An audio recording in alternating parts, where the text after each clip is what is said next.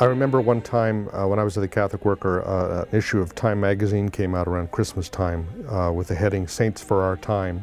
And it had, I think, a picture of Mother Teresa on the cover. And uh, inside it had a list of other people who were you know, possible saints of our time, uh, including Dorothy Day. And she said, um, when they call you a saint, uh, basically it means you're not to be taken seriously. Now, Dorothy took saints extremely seriously.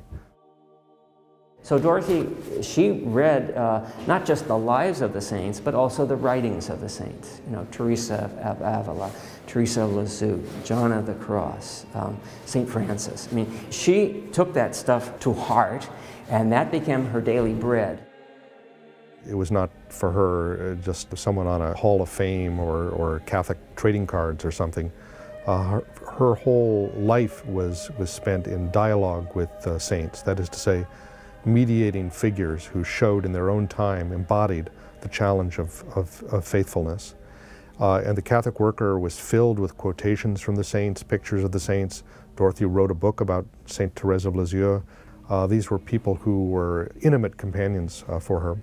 So she didn't herself you know, feel that it was trivializing to, to make someone a saint. In fact, emphasized the idea that we are all called to be saints.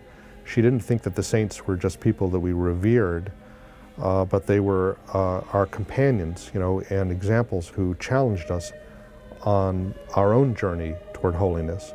And to be holy, meaning not to be perfect, not to be canonized, not to have a church named after us, but to uh, be the person that, that God created us to be, to put off the old person, to put on Christ. And she saw that as an ongoing task that lasts the whole lifetime.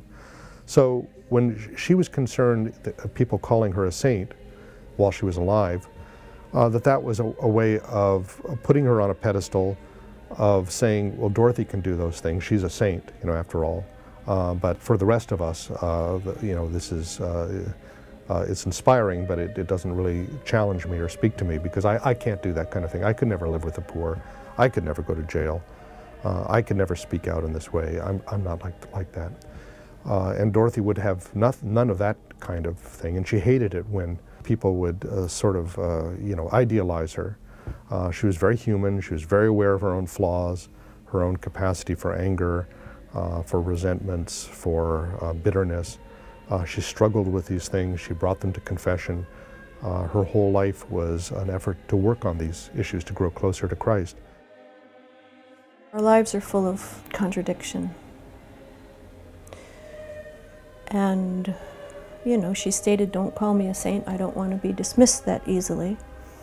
And she also said, we're all called to be saints.